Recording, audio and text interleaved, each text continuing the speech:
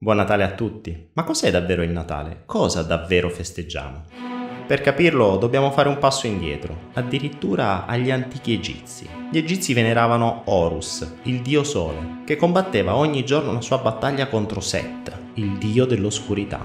Horus, da cui viene per esempio la parola ora, che indica il percorso che Dio fa attraverso il cielo, come anche la parola orizzonte, in inglese horizon, che significa Horus es Risen, ovvero Horus è sorto. Indovina un po', Horus è nato il 25 dicembre e la sua nascita è accompagnata da una stella dell'est, seguita da tre grandi faraoni per portargli dei doni.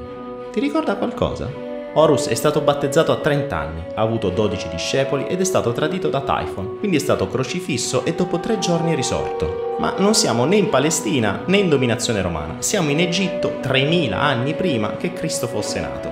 Qualcuno potrebbe dire che è solo una coincidenza, ma le coincidenze continuano. Vediamo un po'. Attis, il dio della Frigia, nato da una vergine il 25 dicembre, poi crocifisso e risorto. Dionisio, dio greco, nato il 25 dicembre, autore di miracoli, crocifisso e poi risorto. Krishna, dio dell'India, nato da Devaki, una vergine il 25 dicembre, accompagnato da una stella, anche lui crocifisso e poi risorto. Ma andiamo avanti. Mitra, dio della Persia, nato il 25 dicembre con 12 discepoli, morto e quindi risorto dopo tre giorni.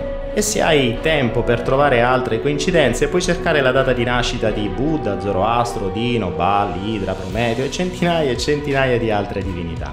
In verità quello che lega assieme tutte queste religioni o credenze pagane non sono semplici coincidenze, ma hanno origini totalmente astronomiche e cioè il fatto che il 24 dicembre la stella dell'est, Sirio, ovvero la stella più luminosa nel cielo, si allinea perfettamente con le tre stelle della cintura di Orione. Queste tre stelle sono da sempre conosciute e chiamate come i tre re. Se la notte del 24 dicembre tracciassimo una linea immaginaria unendo le tre stelle con Sirio, la linea toccherà l'orizzonte proprio nel punto in cui la mattina del 25 dicembre sorgerà il Sole, ovvero il nostro Dio. Questo cosa vuol dire? Beh, sembra evidente. I tre re, ovvero le tre stelle della cintura di Orione, seguono la stella dell'est, Sirio, che li porterà fino al luogo in cui nasce il dio. Ma non solo. Il 22 dicembre, il giorno del solstizio d'inverno, nell'emisfero nord, il Sole, dopo essersi mosso verso sud per sei mesi, raggiunge il punto più basso sull'orizzonte, dove resterà per tre giorni.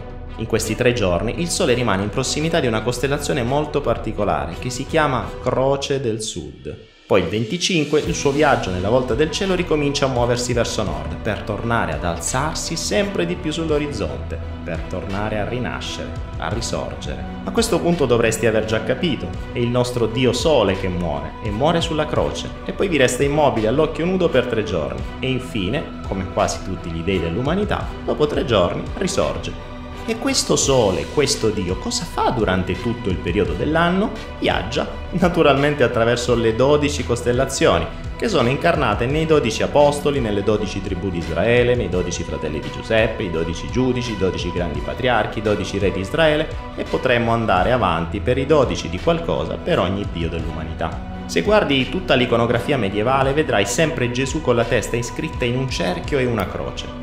Quel cerchio non è altro che un simbolo pagano, la croce dello zodiaco, e lui, il Salvatore, il Figlio di Dio, non è altro che il Sole, che sta al centro del simbolo. Ma tutto questo nella tua vita quotidiana, nella frenesia degli acquisti in cui forse sei cascato anche tu in questi giorni, nelle canzoni di Natale, nelle preghiere della Chiesa, è stato completamente dimenticato, se non addirittura, forse, totalmente nascosto. Siamo da sempre figli della natura, adoratori delle cose del cielo, e nell'antichità si sapevano, anche se in modo diverso da oggi. Ma la conoscenza e la saggezza è molto più antica e non muore mai. E questo dimostra quanto gli uomini sulla terra, se spogliati dalle culture successive, dagli eccessi religiosi che nascondevano sete di potere e guerra, siano tutti, in fondo, esseri minuscoli, paurosi e tremendamente uguali.